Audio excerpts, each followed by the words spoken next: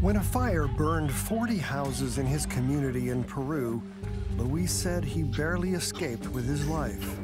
A lady started screaming, Fire! Fire! We are burning! I did not know what to take. I grabbed my little bag where I have my documents and ran away.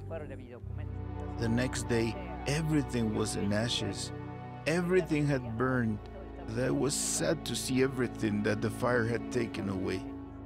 Luis turned 70 this year. He now had to start over. I lost everything I had my Bible, my money, my dentures. Everything was all burned. When Operation Blessing visited the community, we learned that the government would rebuild the burned houses.